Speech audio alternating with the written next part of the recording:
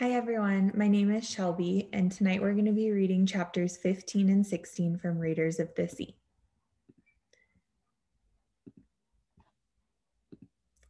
Chapter 15 Future Wealth. In late afternoon, the peaks of Scotland faded into gray mist. As the wind picked up, the choppy water changed into hills and valleys. Behind Bree, the large sail of the Viking ship billowed in the wind. As far as she could see, waves moved up and down. When Bree started feeling empty inside, she thought she was hungry. Then she thought how strange that was. I just ate all I could. I'm filled up. As the waves became long swells, the seabird sliced through them. But Bree's stomach churned. Swallowing hard, she tried to feel the wind in her face. Instead, food rose in her throat and she ran for the side of the boat. Even when there was no more to lose, she stood there, helpless in her seasickness. By now, other Irish folk had joined her. Filled with misery, they lined the sides of the ship. When Michael passed behind Bree, she was only dimly aware of his being there. Sure, and if the lass ain't losing all her pride now, she told herself, guessing at Michael's scorn. Almost she could hear him. What's this big talk you have, Irish lass? You who thinks you are so strong? Desperately clinging to anything that would return her stomach to normal, Bree thought of Mam and Daddy, of Dev, Adam, and the girls, nestled like a bird beside the kitchen fire. But now Bree felt so weak she could barely hang on, Every roll and dip of the ship brought fresh agony.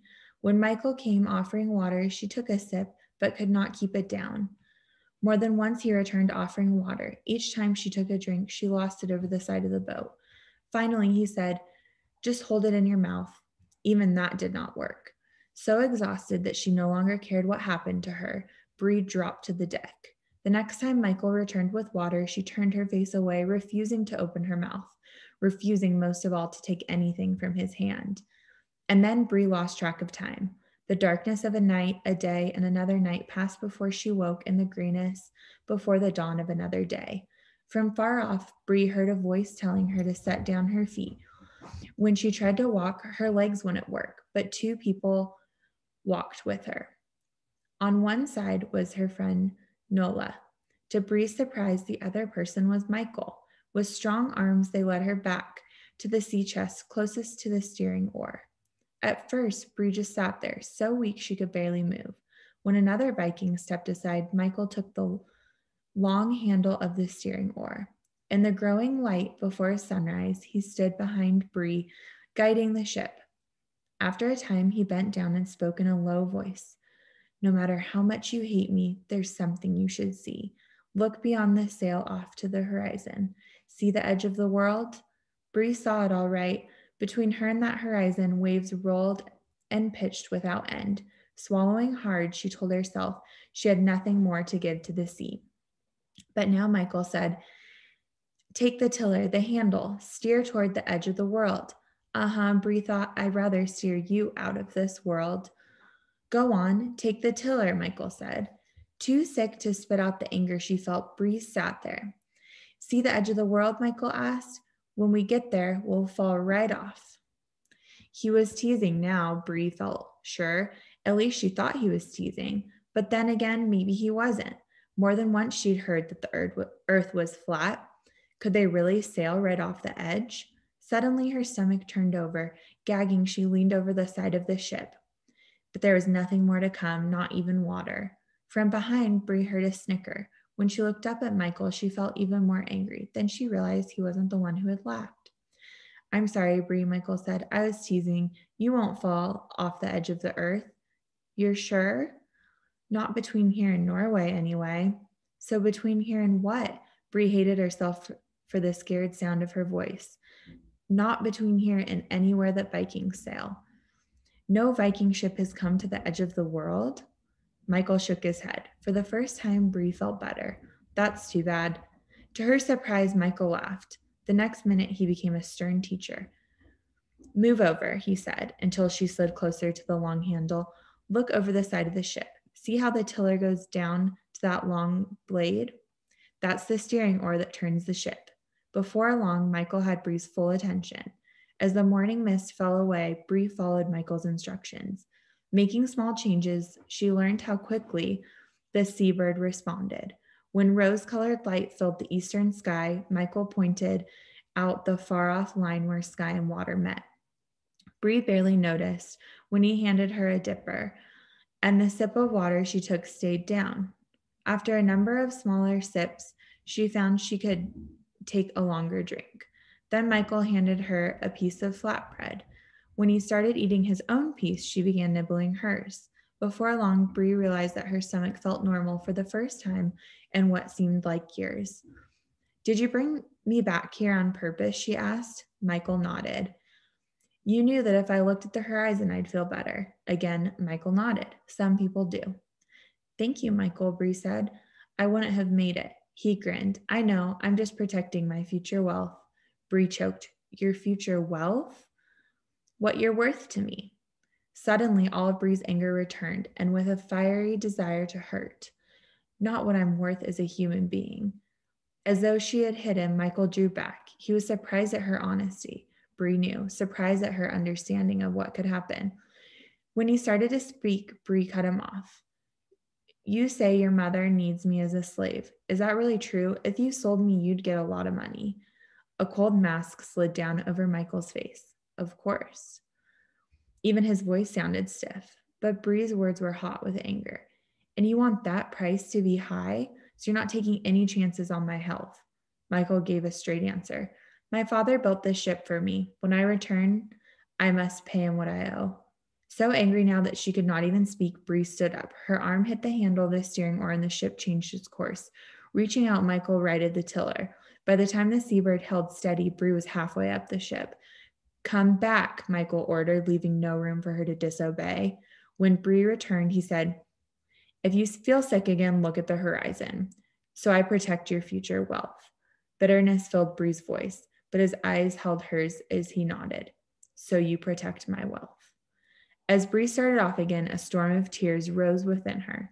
For a few minutes, she had forgotten where she was, forgotten that the Viking who helped her get go beyond seasickness was not a new friend, but an enemy, and the land she would soon enter, he would be a lifelong enemy. Her dread of that world filled Bree with pain. Again, Michael had broken her trust, her willingness to hope that even he could do good things for others. But then Bree remembered I don't have to trust Michael for my future. My trust is in God. Suddenly, Bree whirled around, marched straight up to Michael, and spoke into his face. I don't believe you, she said. There's a small part of you, a very small part of you, that is kind, whether you know it or not. Chapter 16 The Warning. As the stars came out, Devin and Jeremy left the path along the Irish coast. Climbing like nimble goats, they passed over the small bridge of land. Beyond was a wide plateau of grass covered rock. On the side toward the sea, the land sloped upward before dropping to the water, forming a natural wall against the wind and the waves. No danger there, thought Devin, no falling into the sea. On the side toward land, the rock rose higher, shielding them from view. At the center of their hiding place, moss covered the rocky trail. Wrapping his cloak around him, Devin lay down in the soft hollow. Nearby, Jeremy settled himself on the blanket given to them by the O'Neills. Laying on his back, Devin looked up at the stars. Right above him, they were coming out one by one. As the sky grew darker, the stars grew brighter. With nothing to limit his view, the night sky seemed bigger than it than he had ever known. Devin felt as if he could reach up and touch God. To his surprise, there was something he knew. As awful as the past few days have been, they could have been even worse. Sorry.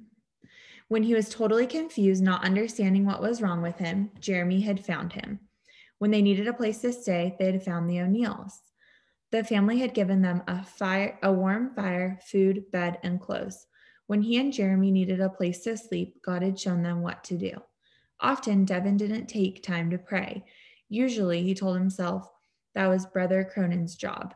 But now Devin couldn't get the Glendalough monk out of his mind. He said I was a born leader, but I couldn't take care of Bree. It's my fault that she was stolen away by Vikings. Since standing up to the mean boy next door, Devin had known how to win. And when he did, in every contest with lads his age, Devin stood at the top. With nearly everything he tried, Devin succeeded, until now, when it counted most. Still, looking up at the stars, Devin started to pray. I'm not a leader, God. Not like Brother Cronin thinks. A leader needs to be strong, able to stand up to things, able to win. Right now, I just want to give up. In the next moment, Devin heard it. The sound of the sea had been in his ears all day, but this was different. First, a soft swish, then a whooshing like the wind rushing into a narrow space, then the roaring crash of water against rock. In spite of, in spite of his tiredness, Devin crept toward the sound of the waves. Lying flat on his stomach, he peered over the edge. The sea had found its way into a rocky ravine about 15 feet wide and 20 feet long. Each time the waves rolled in, they lead, leaped up the rocks. In the thin light of the stars, the white foam of the sea turned silver as it crashed against the rocks. Devin felt its spray against his face, tasted its salt on his lips, and knew the sea was a living thing. When he returned to the hollow in the rock, Jeremy was asleep. Lying on his back, Devin looked up at the stars. Though the dampness of the ground crept through his cloak, he felt strangely warm inside. As a cloud drifted across the stars, a childhood memory drifted across his mind. Mam tucking the blankets around his chin as she whispered Psalm 139 If I settle on the far side of the sea, even there your hand will guide me. Your right hand will hold me fast. Drawing a long, deep breath, Devin waited, then remembered the rest. If I say, Surely the darkness will hide me, and the light become night around me, even the darkness will not be dark to you. The night will shine like day, for the darkness is as light to you. Your hand will guide me, Lord, Devin whispered. Your right hand will hold me fast. With comfort deep in his heart, he pushed the dangers that lay behind and ahead out of his mind. As if resting in his bed at home, Devin drifted off to sleep. Hours later, he woke to the sound of the sea. Though still on the hollow of the rock, he felt as if he were running from someone. As he listened to the waves wash against the shore, Devin tried to figure it out. What woke me? He wondered. He wasn't sure, but he knew one thing. He and Jeremy needed to be on their way. Devin didn't understand why, he just knew that nothing else seemed important. Gray mist hung over the water. In the half light before dawn, Devin found his shoes. Leaning over, he spoke softly Jeremy, wake up. Together, they ate the last of the bread and cheese. Soon after they set out, the skies opened and cold rain slashed down upon them. With the mist of Ireland coming and going all morning, they were soaked through. The road grew soft, and my, by midday, Devin's stomach rumbled with hunger. As he and Jeremy passed through a forest, they walked a short distance into the trees. When Devin sat down to rest, he looked at his shoes. His right foot was wet and the sole of that shoe had a strange, jagged tear. Devin felt concerned. He had no money and could not possibly reach home before the shoe gave out completely. Then Devin shrugged. When compared with everything else that had happened, it didn't seem important. If needed, he could walk barefoot. But how cold would it be by the time they reached the Wicklow Mountains? In that moment, Jeremy turned to him. Where do you think Bree is right now? I don't know, Devin answered. Then he did know. Deep inside, he felt a warning, a nudge to pray. We're on the way home, he told Jeremy. Good Irish folk will help us. If we just keep walking, we'll see our families again. But I'm scared about Bree. Jeremy nodded. Something's wrong. Even more wrong, I mean. Devin agreed. Let's pray for her. Whatever was happening, he felt sure that Bree was in the worst danger of her life.